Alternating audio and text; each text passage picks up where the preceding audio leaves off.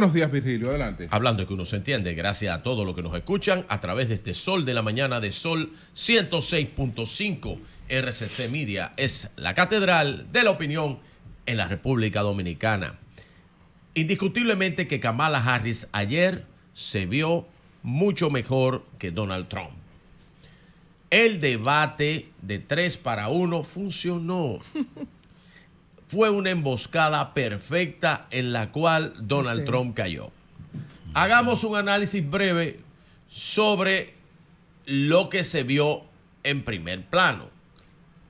Primero, vamos a la imagen. Ustedes dirán, ¿cómo así? Sí, como se ve al candidato influye. Si es más bonito, si es más feo, si está bien vestido, si está arrugado, si está sudado, si está maquillado. Todo eso se ve en el análisis de los debates políticos. Quien se veía físicamente más imponente era Donald Trump. El saco estaba perfectamente ubicado, su corbata roja destacaba, estaba bien peinado, estaba, se veía imponente. Kamala, que se veía bien, pero no al mismo nivel de Trump, no utilizó aspectos que le pudieran ayudar. Se vistió eh, como ella usualmente lo hace, con eh, una chaqueta, una blusa. Eh, sus asesores no quisieron arriesgarse. Recuerdo que cuando Hillary fue al debate, el primer debate con Trump fue con un vestido, creo que azul, que llamó muchísimo la atención. Y eso tiene que ver con los colores y la fuerza.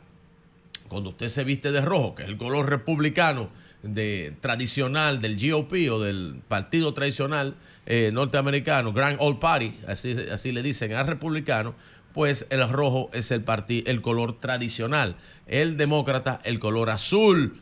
Eh, y recuerdo esa, ese paralelismo entre eh, también eh, John F. Kennedy y, eh, Nixon. y Richard Nixon. Fue determinante la presencia. Mientras, Nixon sudaba, Sí. pues Kennedy se veía bien Fresco. puesto, bien peinado. Siempre se ha hablado de eso.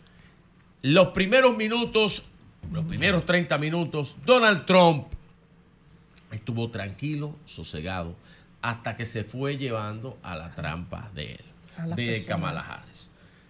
Yo no hubiese salido de los temas principales que los cuales están basados en la campaña de Donald Trump.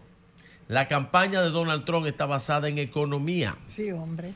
Ese es el Y- y- y tema las migraciones, central. y las migraciones. Y las migraciones. No debió salir de ahí. No debió salir de ahí, ni debió salir tampoco del aspecto del respeto internacional que le tenían a Estados Unidos y la falta de respeto que ha tenido los Estados Unidos con respecto a eso. Puntos a favor, puntos en contra. Pudiera decir que sobre la economía, el debate, Trump afirmó que las políticas económicas de la administración demócrata han causado inflación y pérdida de empleos. Defendió sus logros eh, en materia de crecimiento económico y retiró su promesa de hacer América grande. Él no debió salirse de ahí. Así es. En el- lo que tiene que ver con eh, Kamala, pues dijo que eh, defendió una economía inclusiva, eh, enfocada en la equidad, eh, ah, defendió eh, lo que ha podido hacer el presidente Biden, habló de las oportunidades, o sea, en el futuro, para la clase trabajadora y criticó a Trump por haber beneficiado a ricos y desatendido a las minorías y los sectores vulnerables. En política exterior y seguridad, pues Harris habló de Putin y Trump y esa eh, llamada camada- eh, camaradería que tenían y respeto mutuo. En algunas ocasiones Trump llegó a hablar eh, que Putin era un líder respetado y Kamala se lo sacó a colación y diciendo que Trump sería incapaz de resistir presión de estos líderes autoritarios. Que, Putin Trump- es- que Putin estaría sentado Sí. en Kiev. Donde, Exactamente, eso, él dijo que estaría eh, sometido a esos líderes. Ella dijo eso. Sí. Usted lo que quiere es que, que, se le- que, que Putin esté sentado en Kiev, o sea, la Trump, capital de Trump Ucrania. aprovechó también para hablar del conflicto de Medio Oriente. Sí. Y en el conflicto de Medio Oriente, Trump eh, eh, le dijo a Kamala Harris que su presidencia resultaría en la desaparición de Israel. Claro. Ah, de eso fue Israel. importante. Y enfatizó su papel en la normalización y lo que tiene que ver con las guerras. También cuando habló de eso, le preguntaron sobre la guerra de Ucrania, dijo algo directo y simple. Voy a terminar con la guerra en De Ucrania. Ucrania, sí. Y habló inclusive eh, de eh, lo que había hecho a través eh, de la ¿Cómo la negociación. va- cómo la va a terminar? ma- bueno, pero, pero dejando la financiación negociaciones, simple. Julio. Bueno, pero Usted te- deja el financiamiento. negociaciones, Julio. Usted deja el financiamiento pero- pero y tiene- negocia. Tiene, George. tiene que ser con una negociación. Julio. Porque la guerra, Porque la, guerra de Ucrania está la- perdida por es- Ucrania. ok, no, la, la guerra está perdida, verdad. Ucrania la perdió. No, no, no, no, eh, sí está perdida, la guerra está perdida. Ahora, dejarla, dejarla es reconocer la victoria de. No, pero es por negociaciones. Ya George eso lo es negociación. diciendo. Como sea, es reconocer la, que, Bueno. la, que la alcanzó. Bueno, ya él la casó. claro. A- Al, final Que es una retirada que la- honorable. Que la alcanzó no por lo que está ocurriendo en Ucrania, sino porque la economía eh, de la Federación Rusa ha seguido Normal. normal sin problema. Y, en- y ahí Trump habló Y en- de cómo y- el, y en- el oleoducto, también y en gasoducto, Cómo le permitieron utilizar el gasoducto a Putin y todo lo que se ha beneficiado de la Unión Europea eh, ha sido a través de permisologías, permitiéndole a, a Putin actuar sobre Europa. Eso también estuvo bien, esa carta debajo de la manga de eh, Donald Trump. Inmigración, Trump reafirmó sus Aunque cosas usted- que ya había todo- dicho. Usted empezó diciendo que perdió el debate, pero todo lo que usted está diciendo que que ganó el debate. Pero, pero, pues, pero, pero, pero, no, eso no es verdad. Yo estoy haciendo un análisis. No, ok, perdió el no, debate. eh, to- todo lo que sí. Se ve que yo Pero- parece que vi el debate tres veces. Ok, pero usted nada más vio una cosa. Bueno, pero. bueno, No, pero dijo que usted ganó. vio otra. No, la, la vimos juntos. Ah, Es bueno, estamos usted viendo vio otra. Trump afirmó la postura eh, de migración, hablando de cómo los inmigrantes, un punto muy de favor, que es verdad, los haitianos comen gato. Y nosotros también. Y nosotros también aquí. De hecho, una persona que trabaja para mí, muy Come cercana, gato. si ve un gato cerca, le da mambo. Mira, Joel, que hay come hablar. gato, ese que está y ahí Joel enfrente también. tuyo. Entonces, eh, ahí eso fue un punto un Y- y- y poco usted considera que- desacertado. ¿Y usted considera- de usted considera que los que los inmigrantes a son terroristas, delincuentes? de- ¿Ustedes de. Vance. Pero ¿Usted considera que los inmigrantes son terroristas, delincuentes, como decía? ese es el discurso de Donald dominicanos Trump. son inmigrantes, ¿cuál es la Eso es el discurso de Donald Trump. Ese ha sido el discurso porque es para la clase trabajadora. Él habla para los blancos norteamericanos. Le dijo- le Él dijo- no habla le- para las minorías. Le dijo Kamala, le dijo- claro, le dijo ¿eh? Kamala, mira qué casualidad, hablando de delincuentes, un tipo, no un tipo que habla- fue condenado por delincuente. Él no, dijo ha- ella.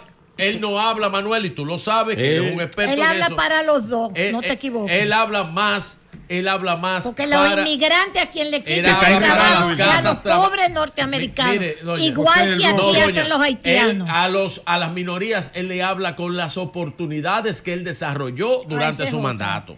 Para que estemos claros. Eh, en la división racial, pues ahí, pues Harris, eh, eh, Kamala, pues utilizó Pero, una carta para ti, ¿quién ganó el maravillosa. Totalmente Kamala Harris. Pero estoy haciendo un análisis, pero Ok, espérense. Ah, ok, ok, ok. No, porque todo lo que le está